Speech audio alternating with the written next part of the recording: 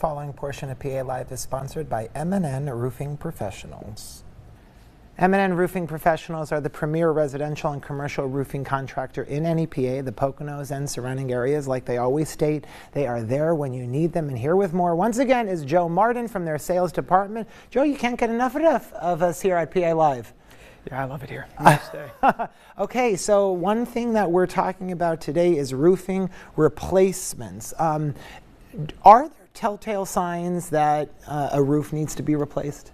Oh yeah, uh, there's things that you could see and then things that we'll find in the inspection, but people from the ground, I mean, when you clean your gutters, if you see a lot of granules in there, stuff like that. If you go to Owens Corning, uh, their website, they actually have a page with uh, things you can look for, and it'll have like curled shingles, um, heavy moss, granule loss, and then there's things we can see up there like thermal cracking or lifted or creased shingles. So yeah. Yeah. So it's not always just our attic is uh, it's snowing in the attic. Yeah, yeah, yeah. Sometimes I'll have customers be like, "I got plenty of life in my roof. I'll go up there and it's a mess."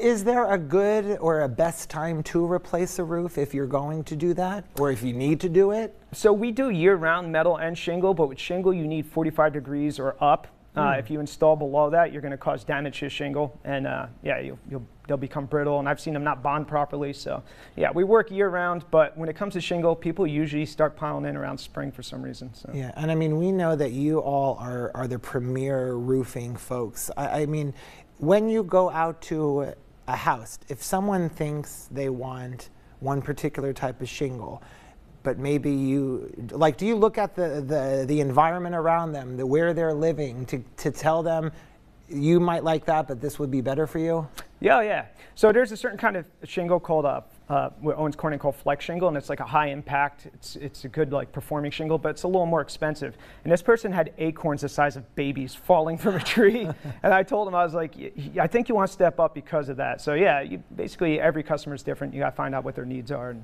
yeah.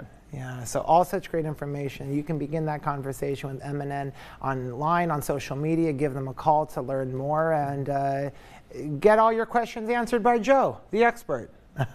Joe, thanks again for joining us. Yes, sir. And once again, that was sponsored by M&N Roofing Professionals. More with the show when we return.